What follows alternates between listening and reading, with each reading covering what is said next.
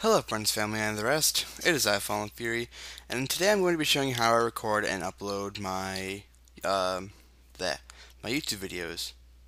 So, um, I have a couple programs here open for you guys, um, because I've been getting a lot of questions, um, asking, can, like, can I help them, or, like, what? Like, you know, like, can I help them do it? And it's really getting annoying that I have to type it out all the time, so I just figured, make a video, do it. Why not? so uh, I have a couple programs open. Obviously, Audacity, record on my audio because I tried it with Cam uh, Cam Studio, built an audio recorder, and it sounded terrible. So I'm going to be using Audacity because Audacity is sweet. But um, first off, you want to open up Pinnacle and go up to the Capture tab right here. You see. Um, I have a game on, but it's not on my TV. It's just I'm playing it while the TV's off, and yeah, whatever. Um, go to Settings, and here are my settings for uh, capturing. I Dazzle obviously Dazzle uh, NTSC TV standard aspect ratio 16 by 9 don't want 4 by 3 because widescreen's epic. Um, capture format MPEG I make it MPEG. I make it the highest and a bitrate of 8000. Uh, my project preferences are NTSC progressive widescreen uh, for best quality, and that's pretty much it. Um, what I do is, uh, let me save it, but what I do is I get my Audacity. I'm not going to be using this as an example because I'm already recording my voice, but uh, what I do is I start capture and like I make it a random video, like let's say Mega Man X3 Part 1. 12. Because I already even tried this once. Start capture, and as it's loading like that, I press a record button. So my, my commentary is before the uh, actual game. Um, then I, after I'm done finished recording, I just stop both of them, obviously. But um, with um, with Audacity, I've known people actually who have had problems with it crashing. A few of my friends have had problems with it. So instead of clicking the stop button, I click the space button. I'm not going to now because it stops my audio recording. So um, press the space button instead. You should be fine. So um, after you get all that done, and that's the raw recording, exit out of Pinnacle and go into Vegas. I use Vegas because it's, in my opinion, the best um, one that you can get easily. But um, yeah. So what you want to do is you want to import your media. You might as well just put in the uh, um, let's put in the Majora's Mask part, one that hasn't been out yet. Ooh. Anyways, um, put those in. Oh, first I want to show you my properties of my actual project.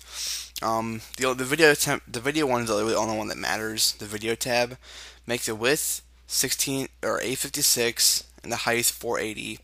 Make the field order none. Make the pixel aspect ratio 1.0000 I think four zeros square. Output rotation zero obviously uh, frame rate 29.970 NTSC. Um, there are some, if you have a, like an HD capture card or like you're rendering Call of Duty videos, I would suggest 59.94 because it's double NTSC, and Call of Duty is like the only game ever that can render or play at full 60 frames, but that's only if you have like an HD capture card. I think, well, I don't know if Dazzles can output 60 frames. They might be able to. I'm not entirely positive. Anyways, um, make the, uh, the pixel format at 8-bit. The uh, compositing gamma, that doesn't matter because it can't be changed anyways. Full resolution rendering quality at best, the motion blur type at Gaussian, and the deinterlace method at blend fields. And I've clicked the adjust box, adjust source media to better match project, and start new project these settings because you want obviously to have the project save and just click OK. Since you have all that done, uh, let's put in our video and audio. Put it in, it's two tracks obviously well, video and audio, and my commentary is one track. Um, what I do, usually do is I uh, click S to split the video, delete this dead space, or this dead, uh, dead air, and it's usually like about there. It's good, but just to make sure, that's when I put. I'm not talking very much. Here we go. Oops.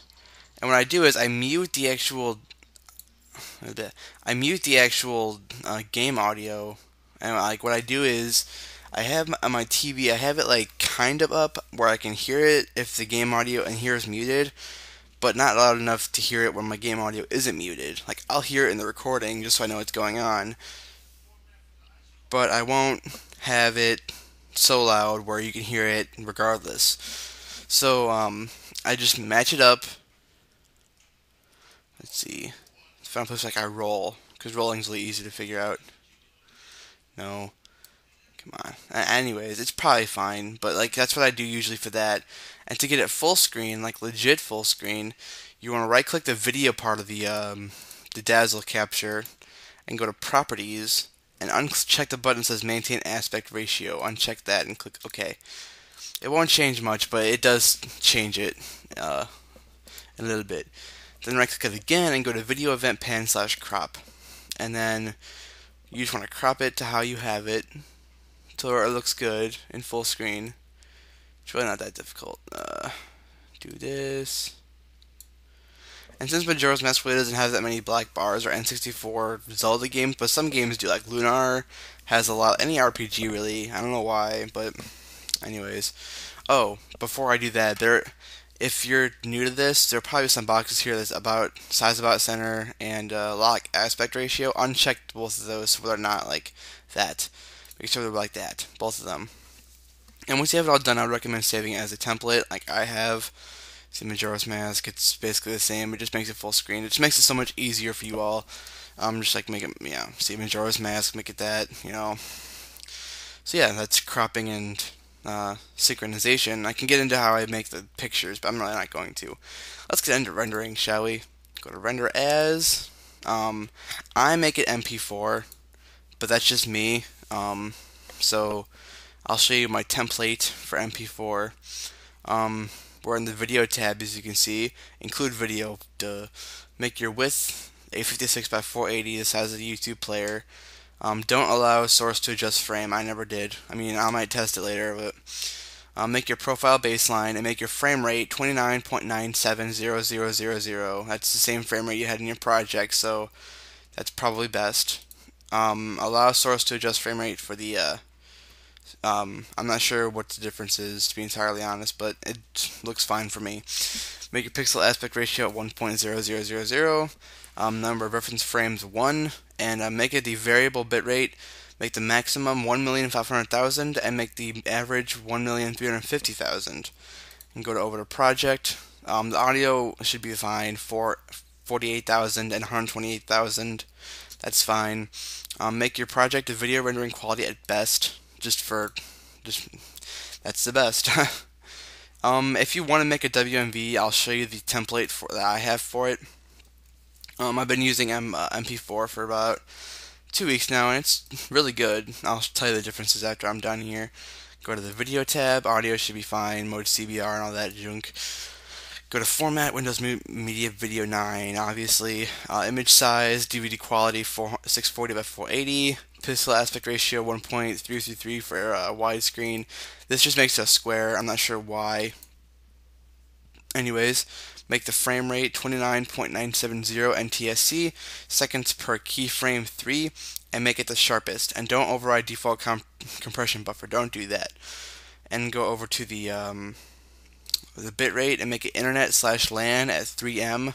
That's 3 million. Um, I think that makes it render a little bit faster. I'm not entirely sure. Index summary doesn't matter, that's just for the uh, template.